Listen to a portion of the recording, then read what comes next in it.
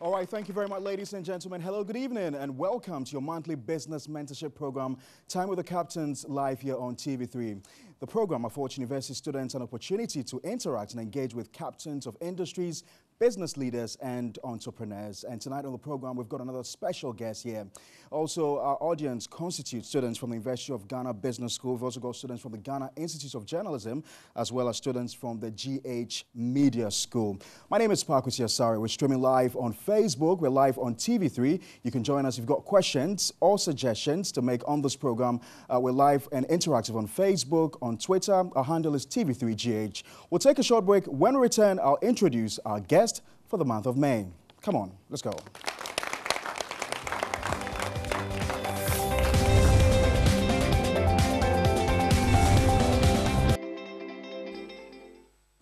Hi, welcome back to Time with the Captains, your monthly business mentorship program live here on TV3. My name is Parkus Yasar. We're streaming live on Facebook. We're also live on TV3. So who is our guest for the month of May? So um, captain for the month of May holds the position of chairman for Golden Beach Hotels Limited. You give that one up. Okay. He's also chairman of the Roman Ridge School as well as a council member at the University College of Agriculture and Environment. Uh, just correct me if I go uh, anything has changed. He also serves on the board of seven other companies.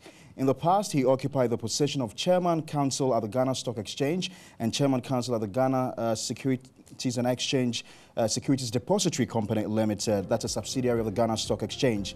In 2018, he won the prestigious African Bank of the Year Awards and was uh, also, in addition, inducted into the African CEOs Hall of Fame for his sterling role in the banking industry. He received an undergraduate degree and an MBA from the University of Ghana. Ladies and gentlemen, join me welcome the Managing Director and Director at Cal Bank Limited, Mr. Frank Adu Jr.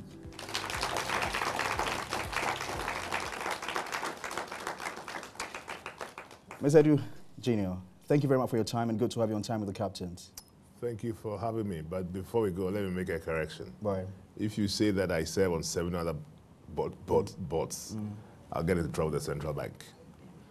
Seven other companies? I'll get into trouble because the central bank says that I can't serve on more than five boards. So you've relinquished some of them? of them, yes. Okay. Okay. So how many do you serve on now? um, Roman Ridge School, um, College of Humanities, FOCOS. FOCOS is um, hospital. Okay. It's actually, that one is actually, um, you don't get paid to sit on that board. You know, you pay to sit on that board you, because we help, um, we help take care of um, children with complex spine conditions, right. hunchbacks, things like that. Right. Then Cal Bank and one or two others. Right. In 2018, you were voted the African Bank of the Year and also inducted into the African CEOs Hall, CEOs Hall of Fame for your sterling uh, role in the banking industry. How did that feel?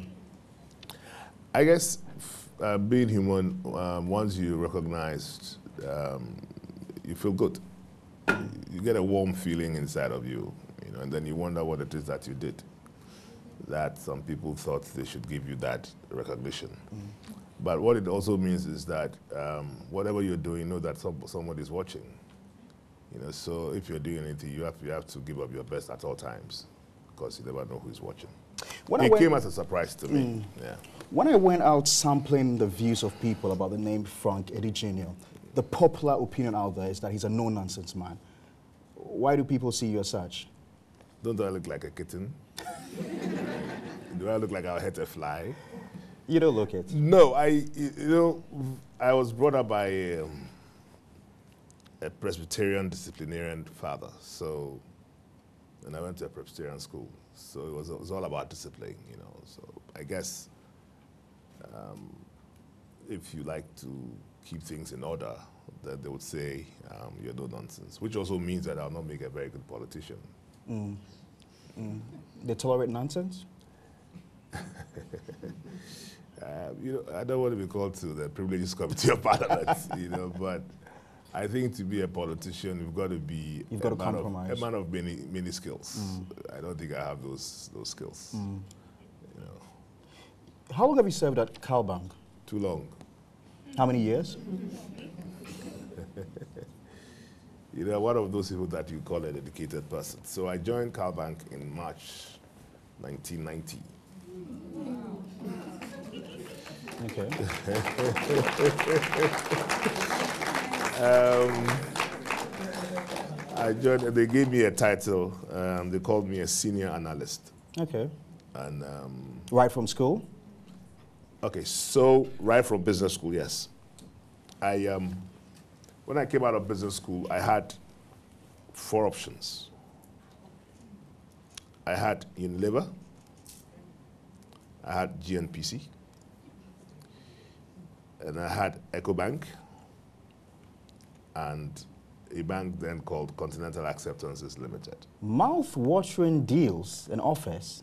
Yeah, so, and I chose um, to the chagrin and annoyance of my dad, my father, I chose Continental Acceptances Limited, which is now CalBank. which is now, which became Cal Merchant Bank and is now Cal Bank. So I was employed as a senior analyst, and then um, I guess in 1993 or 93 years, I was made treasurer. And then 99, I was made deputy managing director. And 2000, I was made managing director. So 10 years, and then I was given the hot, hot job. In 2000, you were made managing director, and something quite significant happened. Not in 2000. I, in 2000, what's, what happened of significance was I turned 38 years old. I was born in 1962. So There was an extraordinary general meeting that was held, broadcast, telecast live on television. You were to be removed as the then managing director. that was 2008. It was um, 5th June 2008.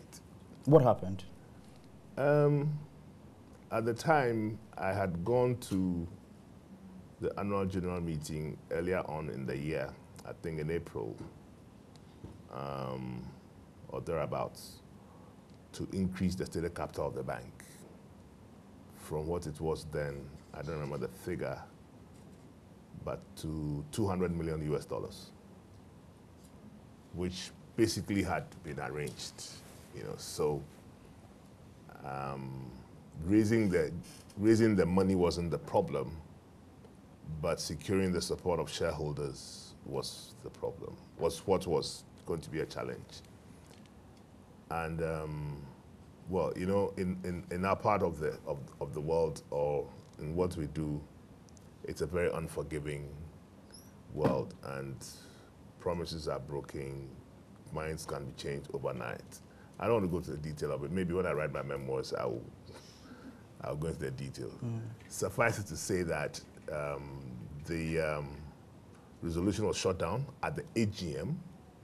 So subsequently, um, a shareholder called an EGM and basically to ask for me to be fired for being um, ambitious and reckless.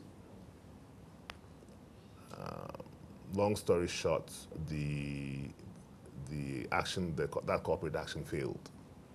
There was a poll.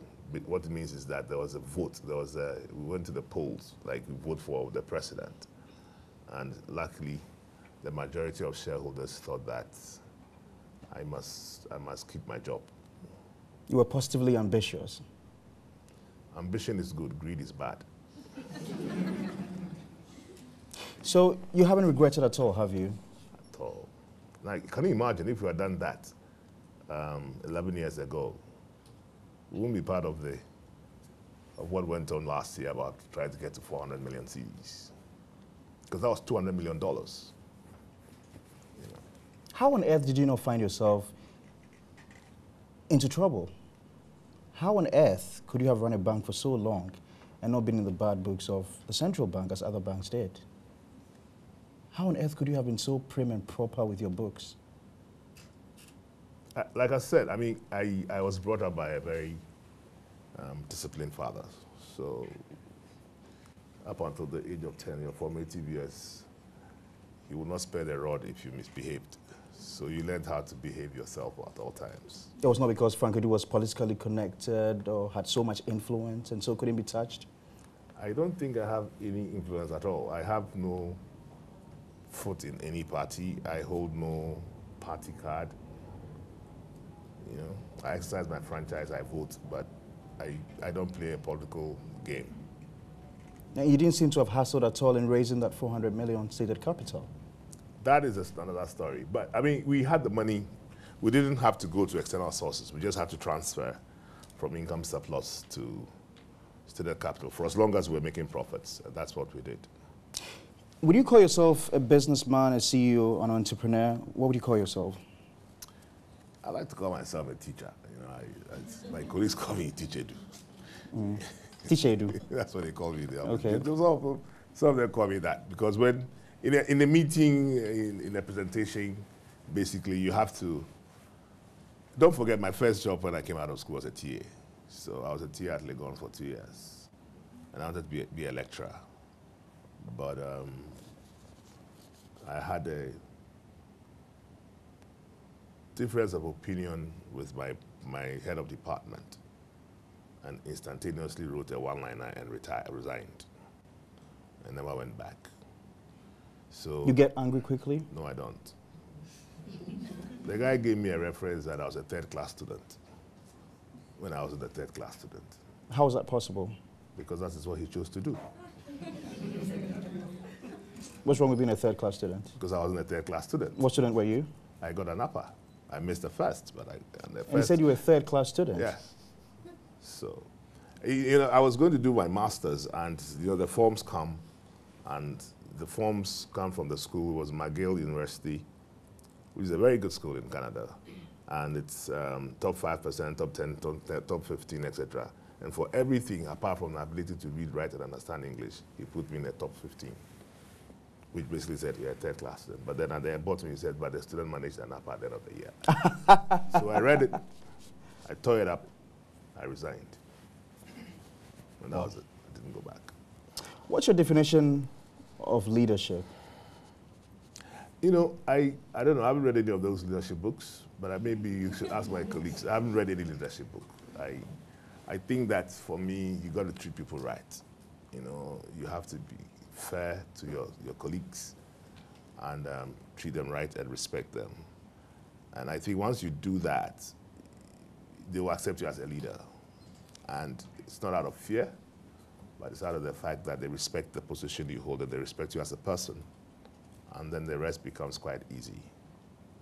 Right. You're still watching Time with the Captains, your monthly business mentorship program live here on TV3. Our guest for the month of May is Mr. Frank Adu Jr., who is the managing director and a director at Cal Bank uh, Limited. I've got students uh, who constitute our audience for the night. Uh, we've got students from the University of Ghana Business School, from the Ghana Institute of Journalism, as well as uh, students from GH Media School. If you've got any questions, kindly raise your hands, and then I would obviously get you to ask your question. Who's got the first question? You mention your name and where you're coming from, and you ask your question. Pass the microphone over to her. My, um, Sophia Hajide, a student, a final year student at GH Media School. And Mr. Frank, my question is, what do you make of the current... Did you say Mr. Frank? Mr. Adu. You can either call me Frank or you call me Mr. Adu, but you can't okay. say Mr. Frank. Mr. Adu, please, what do you make of the current banking sector reforms? Like, I mean, the drastic reduction in commercial banks from 36 to 23. You want to take that, or we take a next question? Okay, just take a response. You want me to take it? Yeah, take it. Um, there is no optimum number for banks in the economy. Okay, so um, South Africa has maybe now five. Um, the US, people don't know, but they have about 3,000 banks. There are banks which serve communities, basically just serve only roads, you know. And so the number of banks is not the issue for me. The issue is whether it's a solid enough banking sector. So you can have three banks and it will be, the banks will be well capitalized and strong enough to serve the needs, the total needs of the economy. And you could have 35 banks and they would not do that. They won't be able to do that. Now, this um, governor elected to consolidate banks and reduce the number to make them stronger and therefore also recapitalize the banks. And I think any, any move like that under all circumstances is good. Because banks are, the strength of banks determined by the capital that they hold. And that capital can disappear very, very quickly. Um, so even the, the, the, reforms as I see them, the reduction in the numbers, first step is good because the banks now become smaller. And then to make them stronger, it says recapitalize to 400 million. There's a lot of noise about it, but it's a good number as well. But that is not, that is not the end of it because the number 400 would be adequate today, but based on the risks that you go and take, mm. could easily become inadequate. So there's a ratio called the capital adequacy ratio, which up until the beginning of this year was ten, minimum 10%. At the beginning of this year, they've added a buffer of 3, so it goes to 13. Now, if at the time that you recapitalize, your capital adequacy ratio was 20, but based on the risk that you go and take by September, it's come down to 12. You start the risk of being penalized because the buffer is 13. When you go below 13, you begin to get warnings. When you go below 10, then what happens to other banks is what begins to happen to you. Advisors are appointed, managers are appointed, you lose your license, etc. So all in all, it's a good, it's a good move, but the central bank will now have to watch the risk appetites of the various banks. And that is where I think the challenge is. Because we also have a high default culture in this country. And every time you make a loan and you don't get paid back, your capital is impinged. That, that, that ratio suffers. Mm. Right. Next question. Okay, my name is Cynthia Inkom, and I'm a, from GH Media School, a final year student. So my question is, uh, Mr. Adu, how do you become the MD of uh, CalBank? How did I become the MD? Yeah, please. I don't know. So these first and foremost, why did they even employ me? you know. So I mean, I, like I said, I joined the bank in 1990. The year 2000, 10 years later, I was 38 years old and I was made MD. You know, so maybe I was doing something right. Because there were, there were other people there. There were people who were senior to me, etc. You know, I don't know. You have to ask the people who gave me the job. Next question. Hello, my name is Benis Obeng from GH Media School. My question is, um, I actually thought CalBank was a multinational company. It was quite surprising knowing it's an indigenous one. So I want to know, what would you say is the reason why most businesses in Ghana do not survive over 10 years? Is that a fact? When you ask me questions, be careful because you must, you must otherwise you get into trouble. Is that a fact? Yes. Really? Yes. You've done the research. Yes. Most businesses don't last more than 10 years. Or they don't survive the first generation. eh? Both.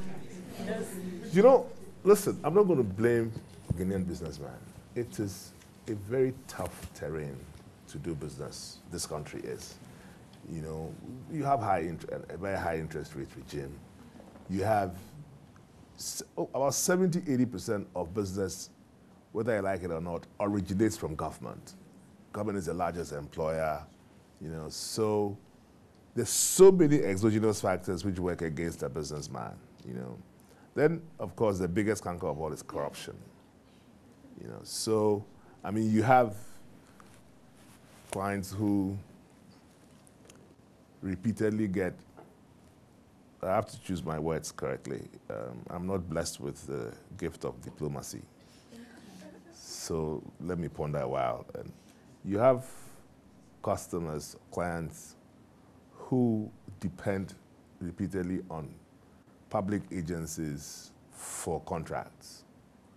If they tell you what they go through to get those contracts, and then when it comes to payments, what they have to go through to get their certificate signed and paid.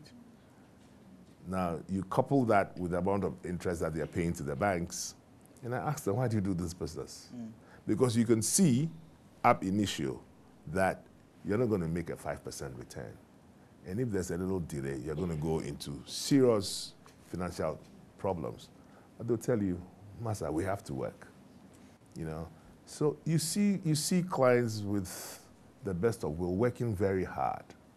Um, And after a while, the, the, companies won't survive. And it's true, most of them don't go, even go up to 10 years.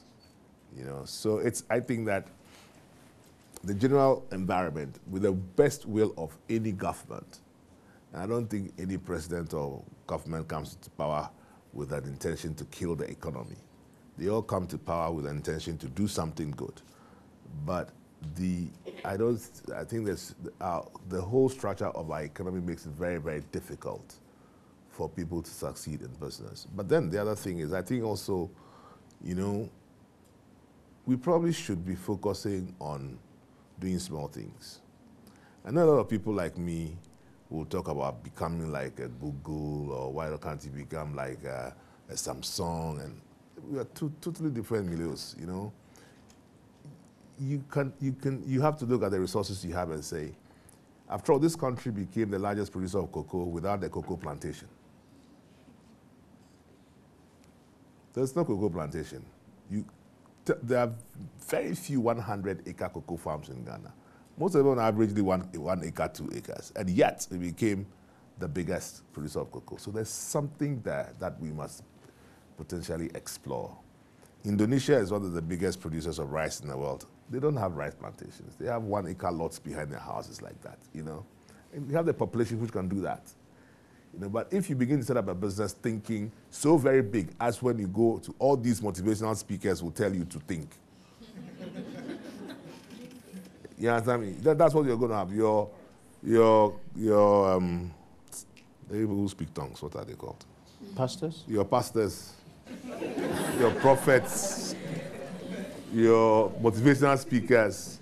That's what they tell everybody, you know, and everybody thinks that's, that's the way to go. So people come, they have very little equity, and they want total debt. If you take total debt to set up a business, you will be enslaved for the rest of your life. I can guarantee you, if you don't have equity, enough equity in your business, and it's all debt or too much debt, your business will not survive.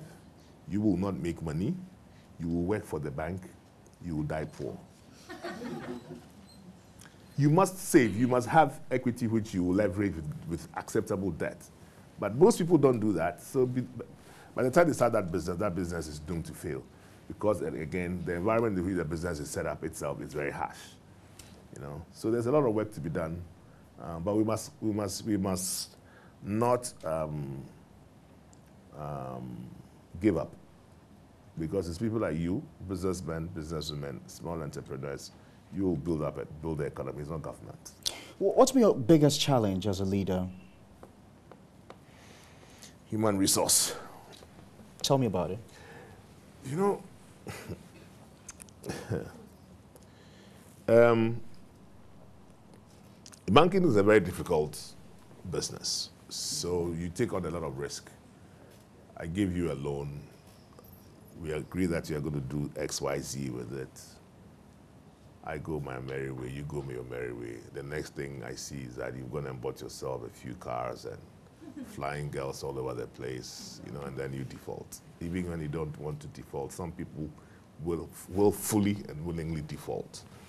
Meanwhile, you've made a loan and you can't sleep.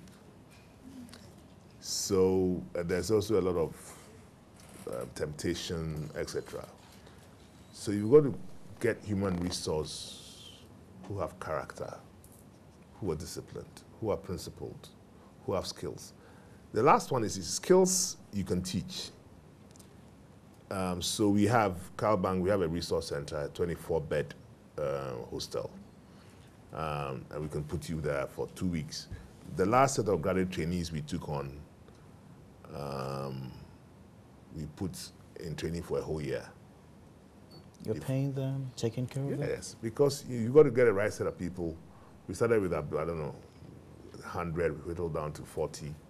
And the last day, we selected 30 and let 10 go. And um, the way we did it was that we let, they voted themselves off. Oh. So we said, okay, now, because from the beginning, we made them understand that we're taking uh, 40. But the last day, it says we're actually taking 30. Now vote 10 off. Now, if you don't vote, then you're automatically off. Half of them threw up. But it was their last coaching the ability to take ruthless decisions when they have to. You know, so that is, that is what that was supposed to do. And, but the point is that because human resource is so key and is so, it's in so, it's in large, large supply, but unfortunately, unfortunately, and I do not mean to um, criticize any of you, unfortunately, the quality is very poor. And I don't blame them. When I was in Legon, Has it got to do with academic quality? no, it's, I think it's got to do, yes, academic quality and the training that you get in secondary in, in, in, universities.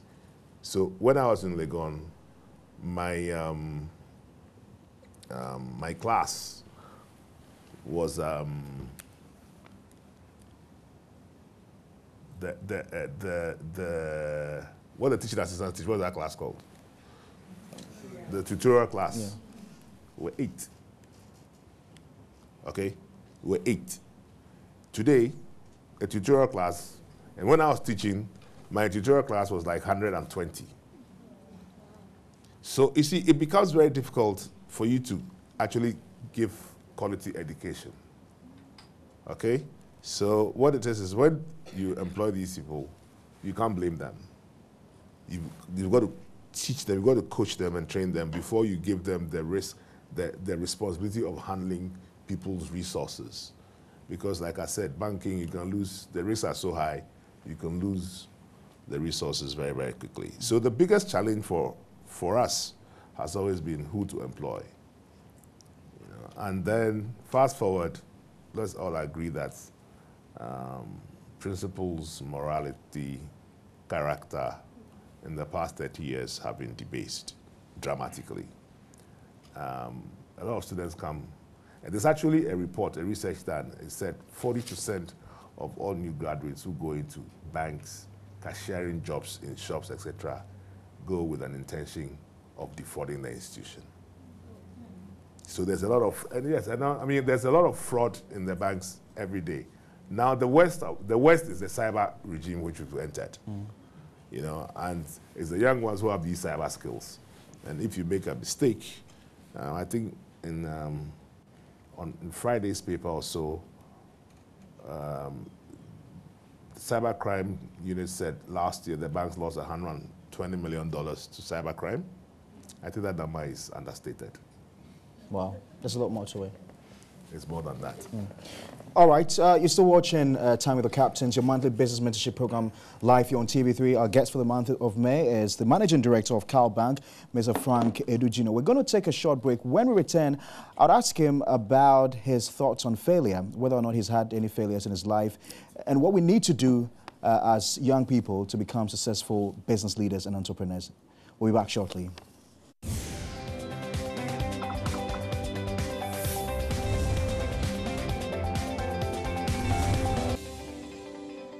All right, thank you very much, ladies and gentlemen. You're welcome back to your monthly business mentorship program, Time with the Captains, live here on TV3. My guest for the month of May is Mr. Frank Adu Jr., who's a managing director of Cal Bank and also a director there. Uh, so, before we went on the break, I asked you, have you ever failed in life? Of course, you should fail.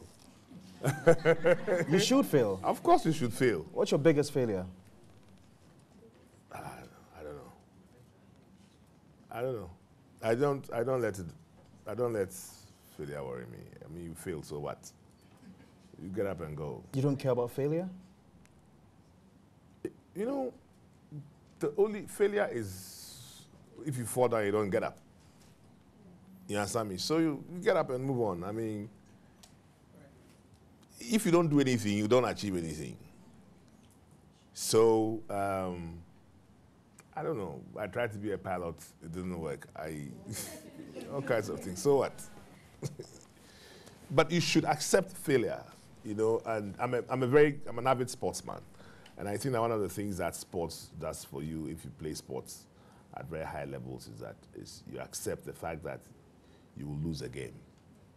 As many games as you win, you will also lose a game. And you lose a game, so life goes on. I mean, Are you a high risk taker? I am a um, calculated, considered risk taker. What does that mean? It means that you, I am not averse to risk, but I am not reckless when it comes to taking that risk. Let me tell you something. I mean, right now, at my age, if you show me a business opportunity, I don't look at how much money I will potentially make from the transaction if I did it. I would look at how much money I would lose if the transaction doesn't go as planned. And if I can afford to lose that money, I will now look at how much the transaction would make if it succeeds. If I can't afford to lose that much, I say thank you very much. You can keep your pot of gold. That is a considered risk taker. There are many people who, all the people who are scammed, when they see a transaction, they show their transaction, they only see dollars and cedis and, and um, you know, nice things. They become tunnel vision or they become like a blinkered horse and they don't see any of the risks associated with, with that particular transaction. And you call it greed. That is greed. That's not good. That will kill you. So aside managing CalBank so successfully, have you ever tried to venture into any business to Yeah. see how good you are? Yeah, I have. What have you done? You know, in the days of the revolution, my father came to my part of the house, and I had two bedrooms, and I had used one bedroom as a storeroom, and I had gone out, and he. This is I'm talking 81, the revolution, and he entered the. I don't know how he found the key, and when I got back home, he says, "What's that?" You know. So it was like a warehouse. And this is the time when there was nothing. But I managed to get uh, anything and everything to sell. I was um, 19 years old.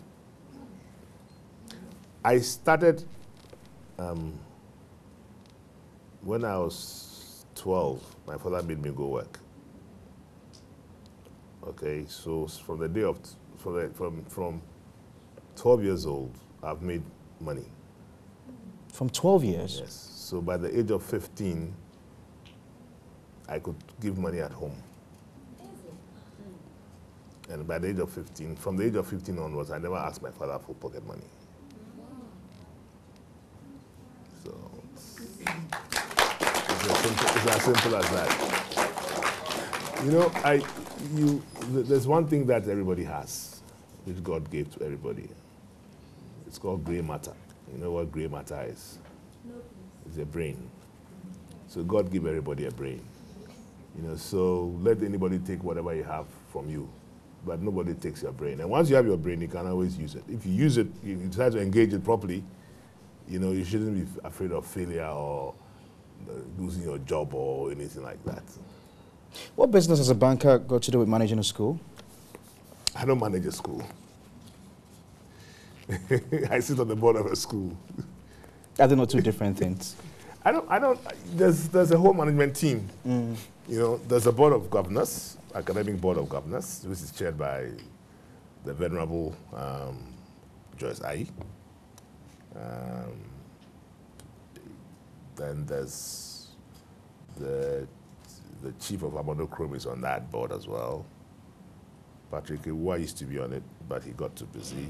Um, and then there's the, the business board, which I chair, and that's myself, um, Noto Mabo, um, the GCNet chairman, um, Gordon Gopals, the school administrator, the founding headmaster from England, um, Jeffrey Allen, and then Joyce Aryee again. So we handle the business side, and then Joyce Aryee and co handle the, the academic side. And it's been pretty, pretty Very good. well. How many years now? Um, se- about 17, 17 years, I think. Well, It's an interesting story, but that, that's also come out in my memoirs. absolutely. Right. Any more questions? And after you, I'm going to ask a d- gentleman to ask the question. Your I'm name? Salome Lai, a final year student of GH Media School. Please, is education really all what we need to succeed? Education, All right. is it really all we need to succeed? All right, thank you. How would you define success? success? When you make it to the top, you achieve your goal, what you really Okay, want. so I, I think that there's a historical basis to this question. People like my father who took, who took over the civil service after the white man left in 1957 were made to believe that he had to get a- an education to get a white collar job. And that basically makes you a civil servant and you always draw a salary. But today, Amazon, Google, Microsoft, Facebook, they've all said that you do not need an education to work with us. It doesn't mean you shouldn't go to school because it's education. You, you know, no, they say you do not need a university degree to work with us, but you need an education. So it depends on what you want to educate yourself in. Are you going to hire me without um, formal education? Why not? If you show, if you show proficiency in what I want you to do.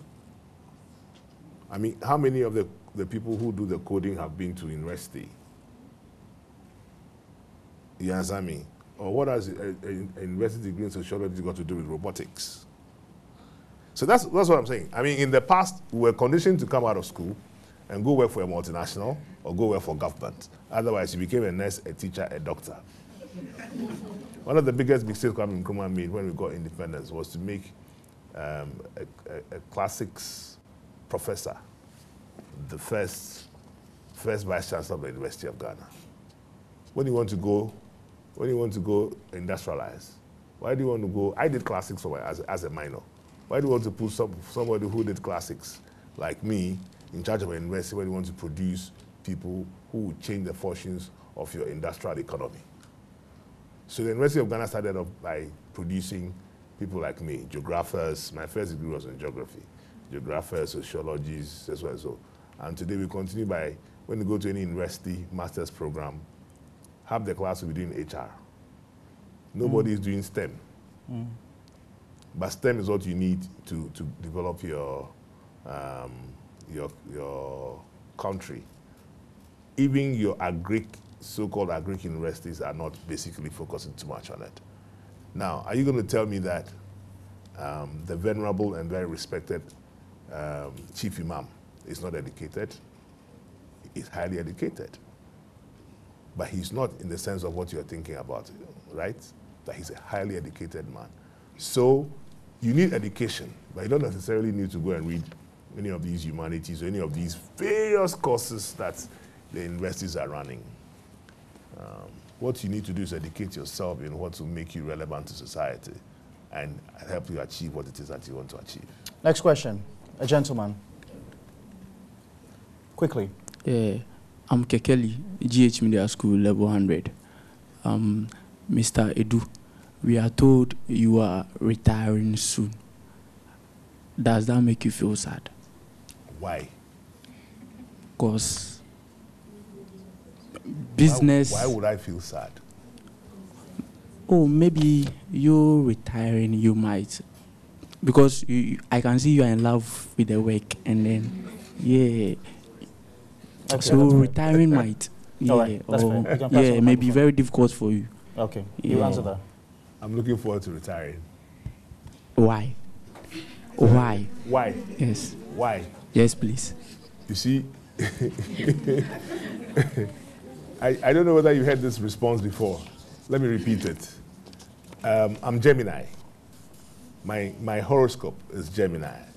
Gemini, we are two, two people. Okay, so I have two sides. I have the very formal side, and I have the very, um, what did I say, silly side. I've been forced for the past 30, almost 30 years to do the formal side. Now I'm going to break my shackles and go and do the silly side for the next 30 years. So the first thing I'll do when I come, when I when I leave Cal Bank, is that I'll wear an earring. We're looking forward to that. Unfortunately, I don't have hair to do dreadlocks. Next question. Um, please. My name is Zainab Tiwasmat. I'm from the Ghana Institute of Journalism. Please, I have two questions for you.